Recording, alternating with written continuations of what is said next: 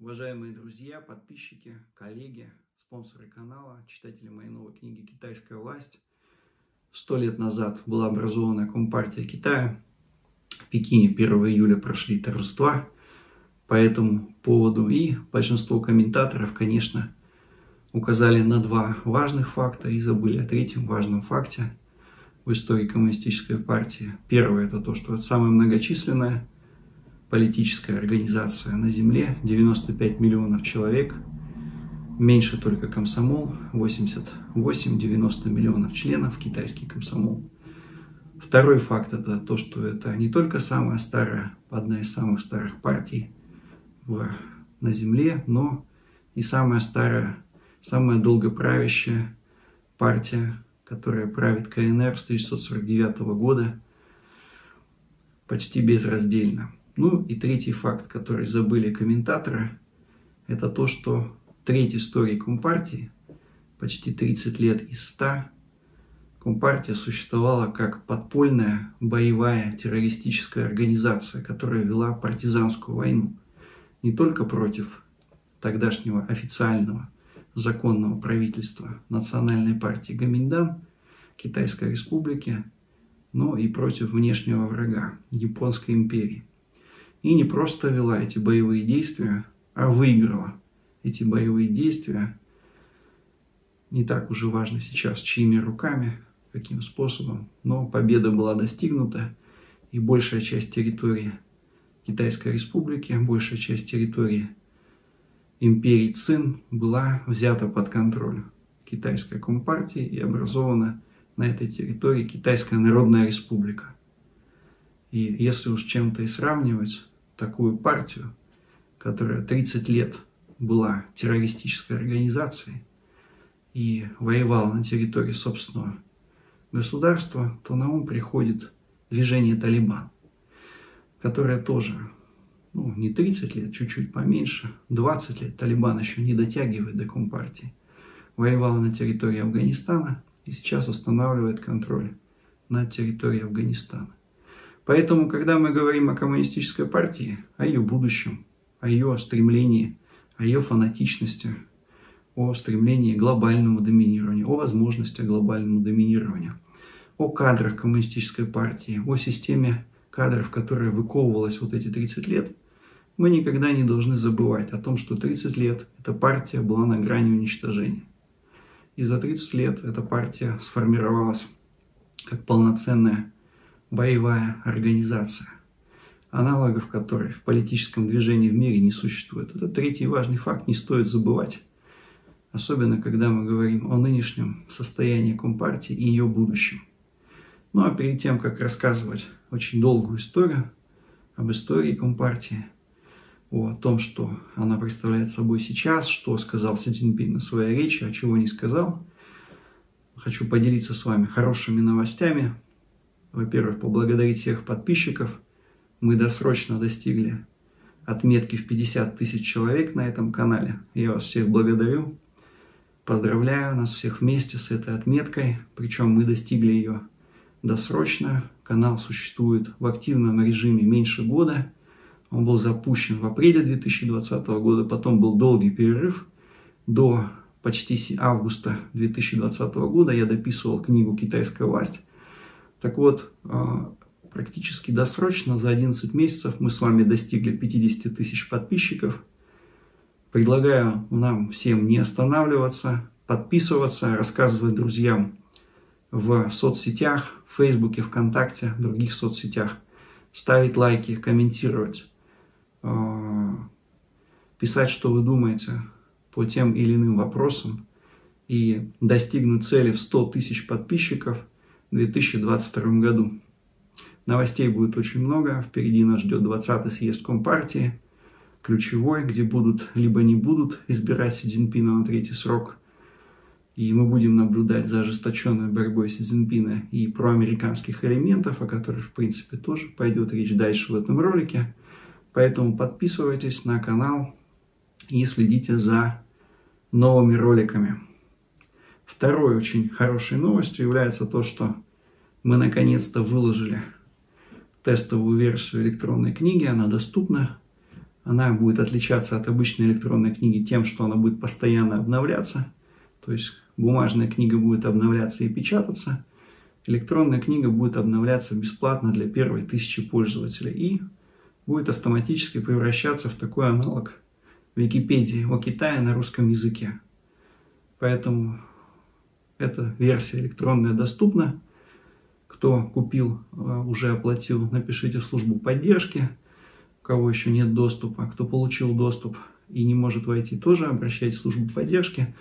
И, соответственно, кто еще не купил, можете купить. Она примерно в два раза дешевле, чем бумажная книга. То есть это очень удобно. Ну и то, что продолжается работа по аудиокниге, я уже говорил. Сейчас записываем, я сам записываю аудиокнигу, немного записано.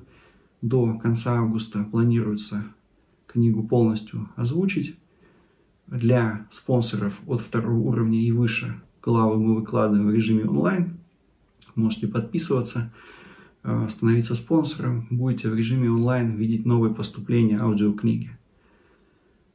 Ну и важная новость по поводу самой книги, это то, что она уже заканчивается, второй тираж. Кто не купил, вот э, кто хочет купить к началу учебного года, хороший подарок. Перед тем, как мы начнем печатать третий тираж, будет э, небольшой период времени, когда книги не будет. Поэтому, кто хочет купить к новому, к учебному году, пожалуйста, покупайте либо по ссылке в описании, либо на зоне Wildberries или где вам удобно.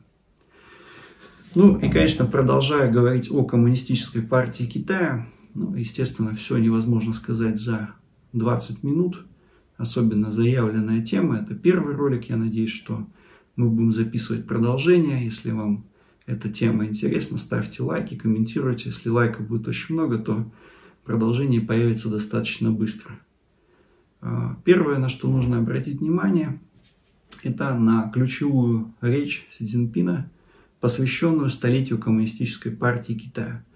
Конечно, уже масса комментаторов высказались по этому поводу, обращают зачастую внимание на несущественные детали, а на существенные не обращают внимания.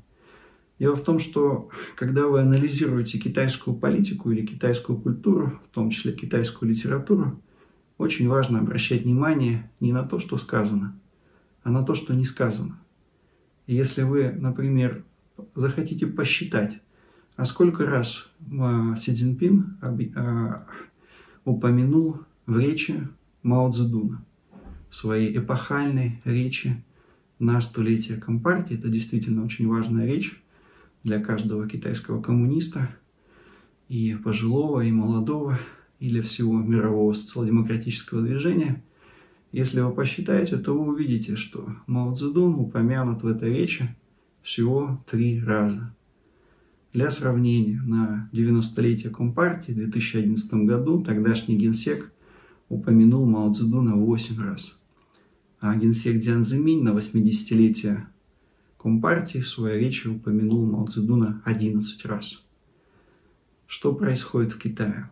Почему происходит какая-то э, демаоизация Китая? Что случилось? И действительно ли это демаоизация? Да, действительно, в Китае происходит отказ от культа Мао Цзэдуна. Это очень видно не только по речи, в которой Мао Цзэдуна упомянули всего три раза в составе э, известных революционеров, в составе уст, э, идеологии, которая включена в устав КПК, и перечисляя генеральных секретарей, выдающихся, то есть Мао Цзэдуна упомянули по минимуму. Кроме этого, это очень видно по массовой пропаганде. Когда смотришь э, эпохальное кино, снятое на столетие Компартии, вышедшее в китайский прокат, фильм 1921, я его еще не смотрел, но я видел материалы по этому кино, а, сюжет и так далее. Это все уже описано. А, видно, что кино посвящено вовсе не только одному Мао Цзэдуну. А главная фигура в этом кино – это фактически учитель и а, патрон, тот, кто двигал Мао Цзэдуна, это его духовный учитель, духовный отец Лида, который закончил жизнь ректором Уханьского университета. и направлял и наставлял Мао в дальнейшем. И это очень интересно, потому что в этой картине Мао показан как второстепенный персонаж. Да, важный, но второстепенный. И это было абсолютно невозможно раньше. Другой фильм, который вышел сейчас в прокат, это фильм Гламинджа. Это по-китайски революционер. Почему-то по-английски его назвали пионер, в том смысле, что это первопроходец. Ну, если вы зададите кому-то вопрос, и в Китае, и в России, где бы то ни было, что, кто может быть э, главным героем фильма «Революционер» на столетие Компартии? Наверное, это Мао Цзэдун. А вот и не угадали, это не Мао Цзэдун. Главный герой фильма – это Ли Даджао, глава пекинской ячейки Компартии Китая. И здесь получается, что Мао Цзэдуна тоже не включили в главную роль, э, на, не номинировали на эту главную роль э, в этом большом событии, посвященном столетию Компартии. Э, что же происходит? Почему Си Цзиньпин, которого западная пресса на перебой называет новым Мао Цзэдуном, как будто бы он себя назвал там каким-то великим кормчим и так далее и тому подобное, почему он себя совершенно не говорит о маоизме, не говорит о, учении Мао Цзэдуна и почему Мао Цзэдун не продвигает китайская партийная пропаганда. У тех, кто читал мою новую книгу «Китайская власть», кто знает, что там подробно описано о настоящей роли Мао Цзэдуна, в китайской социал-демократии прекрасно понимает, почему а, Мао Цзэдун не стал главной фигурой на столетие Компартии Китая и э, прекрасно понимает, кто читал мою книгу «Китайская власть», что все сто лет существования Компартии в Компартии идет очень острая борьба между просоветскими и прозападными, проамериканскими зачастую элементами. И Мао Цзэдун не является просоветским элементом. А те военно-политическая группа, которая сейчас пришла к власти, она является антагонистом группы Мао Цзэдуна, которая де-факто чуть не уничтожила группу Шэньси во время внутриполитической борьбы за власть в Китае. И в принципе, у тех, кто читал книгу, эти вопросы не возникают. Ну, а для всех а, читателей, которые, для всех интересующихся темой, которые знают о Мао Цзэдуне из советской пропаганды, из песен Сталин и Мао, значит, Москва, Пекин, Сталин и Мао слушают вас, и прочей а, сказках о том, что Сталин с Мао Джин дружил, и это были два союзника в мировой социал-демократии – ну вот, я вас спешу разочаровать. Сталин и Мао никогда не дружили.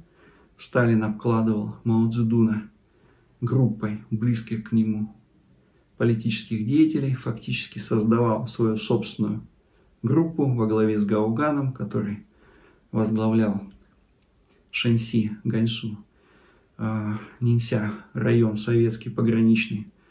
И фактически создавал эту группу для того, чтобы она боролась за власть Китая когда Китайская Народная Республика была создана, Гао Ган, руководитель этой группы, которого называли «Маленький Сталин», был назначен заместителем главы китайского правительства, заместителем Мао Цзэдуна и главой китайского госплана.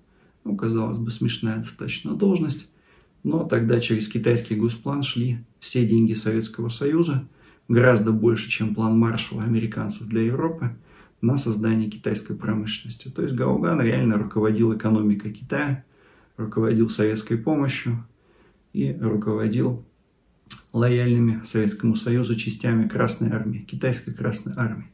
Все это очень подробно написано в книге «Китайская власть», э, как Сталин сотрудничал с этой группой, из кого она состояла, как группа Мао Цзэдуна чуть не уничтожила, в том числе отца Си Цзиньпина, Си Джунсюня, э, как устраивать партийные чистки, все это есть. И для тех, кто понимает, что политических деятелей узнают не по словам, а по плодам, очень выглядит выпукло и контрастно.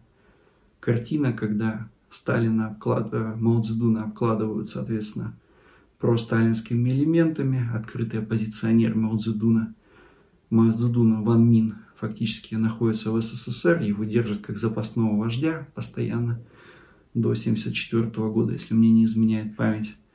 И совершенно очевидным становится, почему Мао Цзэдун а, вначале уничтожил просталинскую группу в руководстве Китайской Народной Республики, а потом устроил, фактически начал негласные переговоры с американской стороной, устроил провокацию антисоветскую на острове Даманском, совершил вооруженное нападение, чтобы показать американцам, что он готов к союзу, что он не является союзником Советского Союза. И фактически начал подготовку к визиту Никсона в Китай в начале 70-х годов. Де-факто встретился с американским президентом и начал процесс выхода Китая из советского блока и вхождения в мировую капиталистическую систему. Мао Цзэдун, который всех советских деятелей называл ревизионистами, по сути дела начал движение к вхождению Китая в капиталистическую систему и отход от советского блока. И ничего удивительного в этом нет. Мао Цзэдун является создателем идеологии новой демократии, это большая работа, которую он написал, кажется, в 1943 году, когда идея о том, что американцы тоже могут помогать китайской коммунистической партии, в, в том числе и в антияпонской борьбе в Китае, возможно, возникла в Соединенных Штатах. А, на основе этой идеи был создан новый демократический союз молодежи в Китае. Его возглавил земляк Мао Цзэдуна Ху Яобан. Этот новодемократический союз впоследствии был переименован в комсомол, сегодня известный. Хуяобан фактически стал после Хуа Гуфена наследником э, политической линии левого уклона Мао Цзэдуна, подготовил почву для революционных событий на Тиньаньмэнь в 1989 году, чуть не поставил Китайскую коммунистическую партию, Китайскую Народную Республику на грани уничтожения. В дальнейшем к власти пришел также лидер комсомола Ху Цзиньтао, при котором расцвела китайско-американская торговля, взаимодействие, и уже начали говорить о китайско-американском едином государстве по двум сторонам Тихого океана, двум берегам Тихого океана. Ну и тот же Ху Цзиньтао, который снес правление Дзян Цзэминя, соответственно, заставил его под воздействием международного давления и внутреннего давления на фоне эпидемии SARS уйти от власти – и эти же комсомольские лидеры сейчас претендуют на власть и политизируют вопросы локдаунов. Все это началось с главы коммунистического молодежного организации провинции Хунань, которую возглавлял Мао Цзэдун. И все это вкладывается в одну единую концепцию. А, и вопрос только один. Когда Мао Цзэдун стал американским агентом? когда мы себе начинаем отвечать на этот интересный вопрос, когда Мао Цзэдун начал активно сотрудничать с Центральным разведывательным управлением Соединенных Штатов, как он докатился, великий революционер, до такой жизни, конечно, возникает очень много вопросов, догадок, и которые вовсе не претендуют на истину в последней инстанции. Но в истории Китая существует и активную роль сыграли три таких человека, двое из которых были непосредственно связаны с Мао Цзэдуном, а третий, возможно, в ближайшие 10, 20, 30 лет мы узнаем о том, что он был связан с Мао Цзэдуном опосредованно. Три этих человека, первый человек это Эдгар Сноу, американский журналист, который 1933 году впервые приехал к Мао Цзэдуну, сфотографировал его в кепке революционной. Это известная фотография, которая потом попала на журнал Time всячески продвигал Мао Цзэдуна э, в Соединенных Штатах, был фактически связующим звеном между Демпартией, которая уже при Рузвельте очень сильно э, порозовела, сделала крен влево, и связующим звеном между Компартией Китая и, соответственно, Демпартией, Демократической партией. Кстати, бытует мнение о том, что слух о том, что Мао Цзэдун хотел преобразовать Компартию в новодемократическую партию или просто демократическую партию Китая, я думаю, это вполне обоснованное в свете всего вышесказанного мнения. Так вот, первый человек это Эдгар Сноу, второй человек это некто Джордж Хейтом, он же Махайде, это гражданин Соединенных Штатов, венеролог, личный лечащий врач Мао Цзэдуна, гражданин Китайской Народной Республики, известная личность. Вплоть до конца 80-х годов он жил в Китае. Ну, а до смерти Мао он его лечил. И не только его. Два этих человека, Эдгар Сноу и Джордж Хейтом, а, они были знакомы, они вместе в 1933 году отправились из Шанхая к Мао Цзэдуну. Кстати, в Шанхае была и последняя, самая известная жена Мао Цзэдуна Цзян Син. Она была певицей. Но мне кажется, что она не только пела, а, но и танцевала, если вы понимаете, о чем я говорю. Вот вместе эта компания прибыла в 1933 году к Мао Цзэдуну и установила с ним очень тесные контакты. Махайде его лечил, Эдгар Сноу с ним разговаривал, его пиарил, писал о нем книгу, и не одну, а, продвигал его в Соединенных Штатах. Ну, и еще есть третий человек, это такой широко известный в узких кругах Ален Даллес, директор ЦРУ, Центрального разведывательного управления. И, казалось бы, как эти три американца связаны? Они никак не связаны между собой, за исключением того, что все они связаны со Швейцарией. И в активный период прихода к власти Мао Цзэдуна Далис находился в Швейцарии, активно листал книжку Суньцзы, очень любил искусство войны, методы войны. А, и я думаю, что, скорее всего, а, ставил перед собой в том числе и задачу установления контакта с Коммунистической партией Китая. Тем не менее, я хочу подчеркнуть, что это просто гипотеза. Ну, а личный врач э, Махайде, гражданин Соединенных Штатов, и активный демократ э, Эдгар Сноу, э, известный в Соединенных Штатах, это просто большие друзья Мао Цзэдуна из числа американского народа, которые его поддерживали, и дальнейшая переориентация Мао Цзэдуна на Соединенные Штаты, и закладывание тесных связей между Коммунистической партии Китая, Новодемократическим комсомолом и Демократической партии США. Это просто совпадение. Кстати, что вы думаете по этому поводу, напишите в комментариях. А, верите ли вы в совпадение, когда их больше трех? И что а, делать трем гражданам США в Швейцарии в разные периоды их жизни? Каждый ли американец посещает Швейцарию в своей жизни? Все ли американцы стремятся посетить Швейцарию? что их туда тянет. Напишите в комментариях. Ну, это совсем другая история, и можно посвятить отдельно, нужно долго это изучать, сопоставлять. Не последнюю роль, конечно, в этой истории играл Каншен, представитель шаньдунской группы, ну и сама Дзян Син тоже была землячкой Каншена, это в книге об этом очень подробно написано.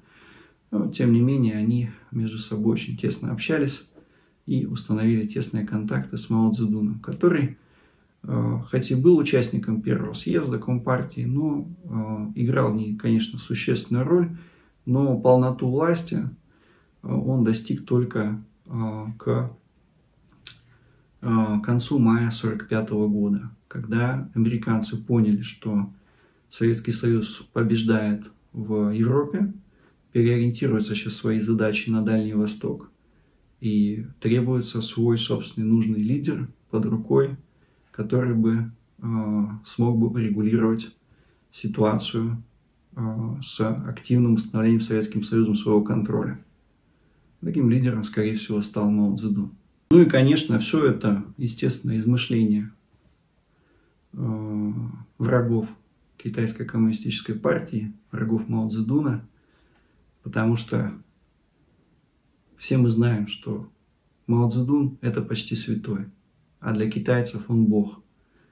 Потому что если вы были в Китае, если вы были в домах простых китайцев, общались с ними, видели, как они живут, то изображение Мао Цзэдуна используется как талисман.